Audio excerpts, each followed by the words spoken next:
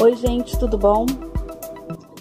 Eu me chamo Francisca, eu sou criadora desse canal Mini Orquidário na Laje. Sejam todos muito bem-vindos para mais um vídeo no canal Mini Orquidário na Laje. É, gente, eu quero mostrar para vocês o meu berçário, tá? Como é, que, como é que eu começo a cultivar minhas suculentas desde pequenas. Algumas eu tenho de muda de folhas, outras não. Então, eu vou mostrar para vocês a quantidade de folhinha que eu tenho aqui brotando. As que são bem fáceis de brotar e as que, as que dão um pouco de dor de cabeça para brotar. As que demoram bastante para brotar. Tem plantas, tem equivérias que não brota é, por folha, todo mundo sabe, né? Só com a decapitação ou com a muda da haste floral. Então, gente, é, eu tenho aqui várias aqui brotando, até mesmo nas que eu ganhei de presente, eu acabei tirando algumas para brotar. Outras plantas que eu tiro para fazer matriz, eu também tiro algumas folhinhas para brotar. É, e quando não, eu faço aqui assim, ó, a decapitação e deixo aqui para brotar. Então, gente, eu vou mostrar para vocês algumas plantas que eu acho aqui para mim que é muito rápido, elas brotam, tá? Em 15 dias elas começam a brotar. Outras demoram assim horrores. Então, vou mostrar para vocês. Eu costumo usar essas caixinhas aqui, ó, de ovo. Aquelas cartelas de ovo que você compra. Então, elas são bem úteis para fazer esses berçários.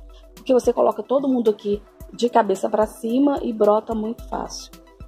Tem plantas que você consegue fazer a brotação comum, tirando a folha, descartando a folha e brota super fácil. Outras só pela haste floral e mesmo assim demora muito. Uma das plantas que eu consigo aqui fazer muda de da folha muito rápido por exemplo, deixa eu pegar aqui para vocês, dar uma olhada. Olha aqui, olha que fofinho. Vamos ver se foca, né? Vamos ver aqui se foca. Olha aqui, ó. Tá vendo? Sabe quem é essa aqui? Essa aqui é uma equevéria. Não, é uma equevéria não. É uma echevéria, eu acho, se eu não me engano. É Albert Baines. Olha aqui. Olha quanto bebê. Essa planta aqui é uma planta que brota muito, muito, muito fácil, tá? toda, toda a folha dela brota. É, eu não fiz ainda de arte floral porque eu ainda não tive nenhuma aqui com arte floral.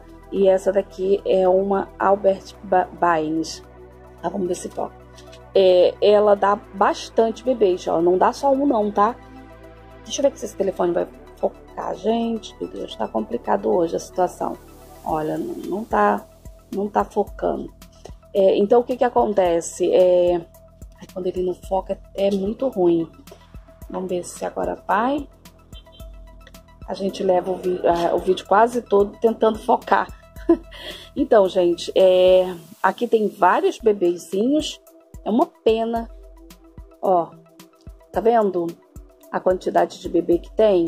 Tem muitos bebês. Olha, olha a quantidade de bebezinho que tem aqui. Tem bastante, né? Ó, tem vários.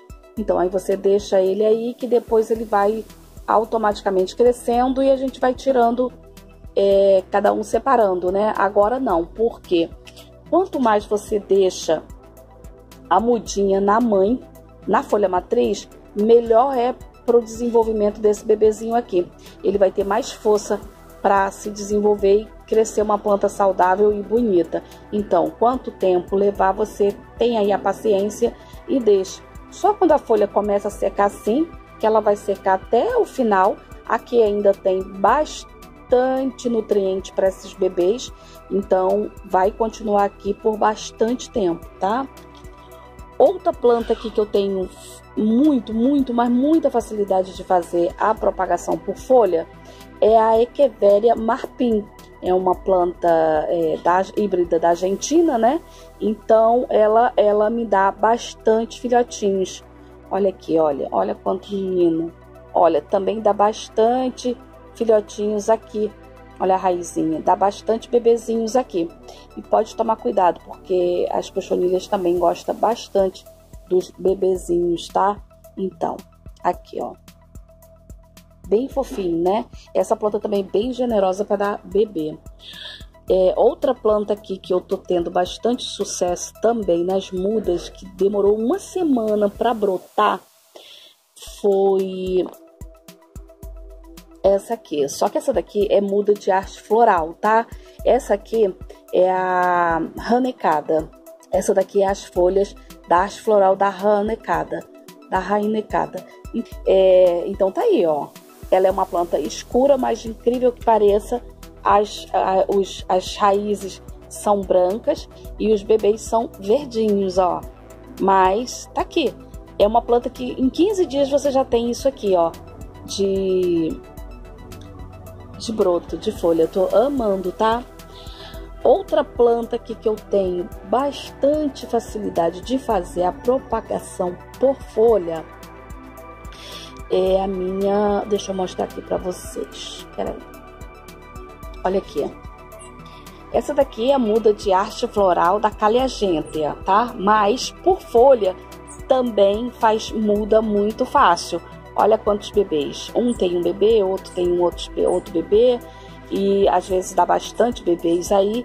Então, essa planta aqui também ela é bem generosa, tanto na haste floral, tanto como as, flor, as folhinhas das hastes florais, como também pela folha, tá? Ela é bem generosa mesmo. Deixa eu mostrar uma outra aqui para vocês. É, eu tenho bastante folha brotando aqui. Por exemplo, essa daqui são folhas da minha Echeveria gila. Echeveria, né? Echeveria ou Echeveria gila? Mas olha aqui, gente, essa aqui demora, tá? Demora bastante, mesmo sendo pelas folhinhas da arte floral, demora, tá? Mas é uma planta que realmente é difícil você fazer a você fazer muda dela pela pela flor, no, pela folha normal, tá? Pela folha normal, tá? geralmente é só mesmo pela arte, pelas florzinhas das artes florais. E olha aqui, olha, eu tenho bastante folhinha da arte floral, da, da gela, e só tenho essa aqui, ó, com broto, tá? Outras com raízes, essa sem raiz, que tá demorando bastante, mas acredito eu que vai dar sim, muda sim. Essa aqui eu não lembro quem é, ó, eu não lembro quem é, mas tá aí, bem bonitinha. Essa daqui é a muda daquela. Da, de uma planta que, eu, é, que veio de presente para mim. Brota muito fácil, porque eu acho que não tem nem 10 dias que eu coloquei essa folha aqui, que é o do é, Sedum Ellen. Mas, ó, já começou a brotar. Brota muito, muito, muito rápido, tá? Tô muito satisfeita, sim, com o meu berçário com essa plantinha.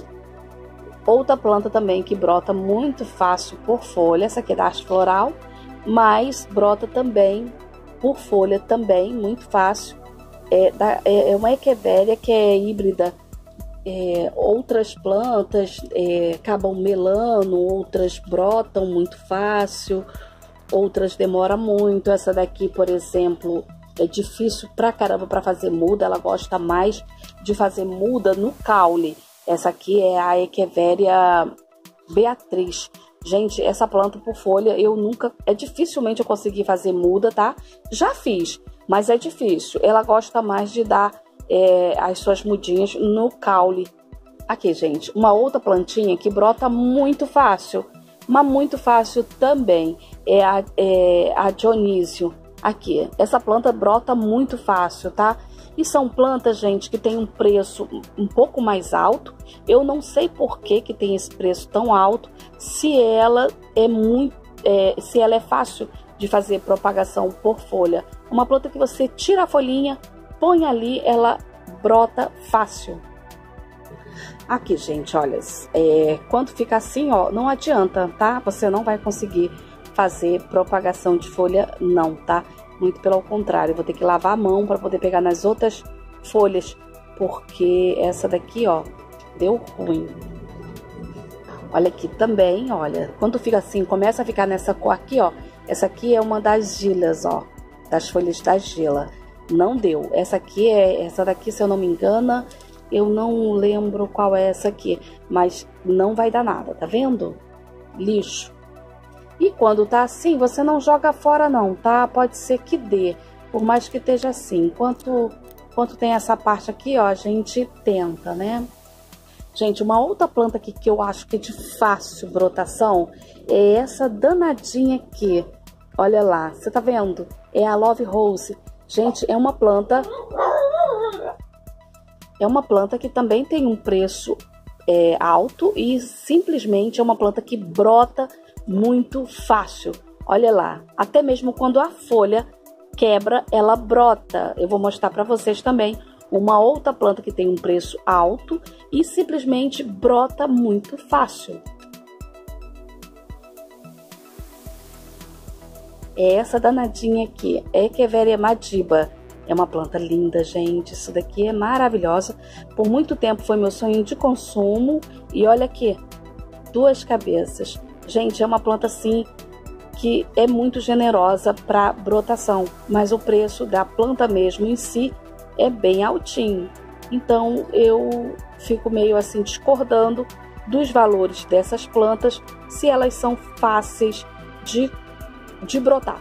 Uma das plantas que eu concordo em ser alto valor, porque realmente não consegue fazer brotação pela folha, é a Cali, é a Lauí, a Echeveria Lauí, a Echeveria Cante, essas plantas aí realmente, a, a Echeveria Romeu, você não consegue fazer brotação de folha, é muito difícil, muito, muito difícil. Eu nunca na vida vi ninguém conseguindo fazer muda de folha.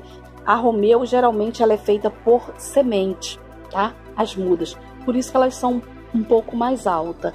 Agora deixa eu mostrar aqui para vocês, olha, quando fica assim, ó, lixo, tá? Não dá nada, ó, lixo também, ó, não dá nada, tá? Pode jogar fora, aqui também não vai dar nada.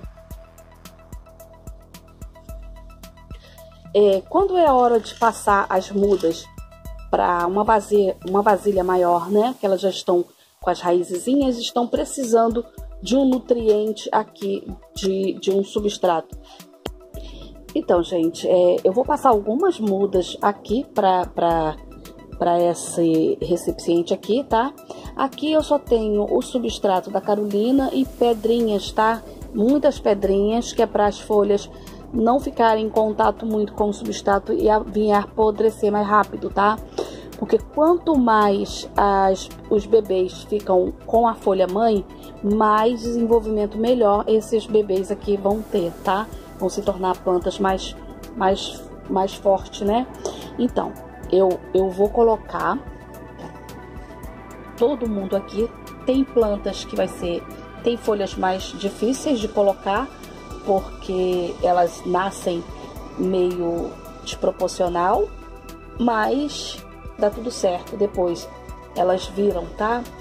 É, essas plantas aqui, elas vão começar é, a tomar um pouco mais de claridade, tá? Porque no momento elas estão tomando só é, claridade, não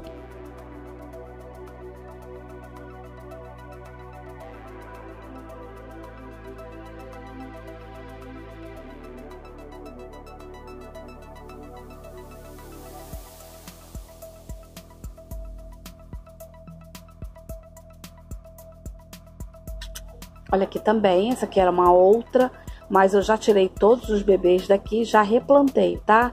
Eu tenho mudas de... Eu tenho... Eh, essa aqui são Mendozai, tá? Não, não, essa aqui já molho bastante, ó, pra ela ficar bem gordinha. E é isso. Aqui já tem mais substrato, tá vendo? Que é pra elas ficarem. Daqui um tempo, eu vou ter que tirar todo mundo daqui e pôr todo mundo em uma outra e uma outra em outro ambiente, tá? É, não demora muito, eu tenho que mudar todo mundo para vasos, tá?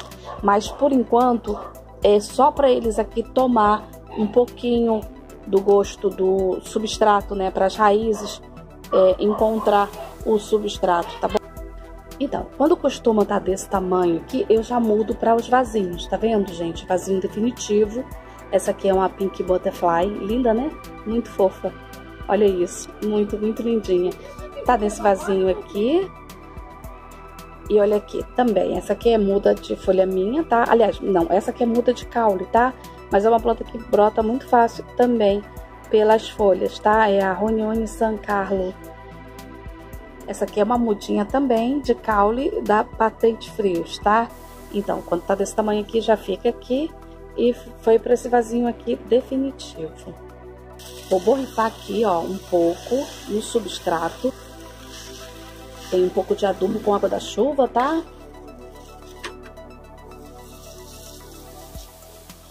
Vou até borrifar aqui também.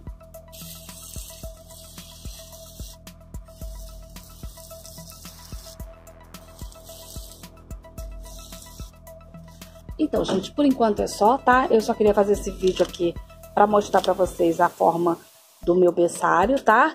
E olha lá. Eu espero que eu tenha ajudado alguém aí a cultivar é, suculenta desde folhinha. E eu quero agradecer a cada um de vocês que está deixando lá no canal o seu like, o seu comentário, uma palavra de carinho, tá? Muito é, gratidão sempre, tá? Gente, é, não esqueça de deixar o seu like. É muito importante, tá bom, gente? E ver o vídeo até o final.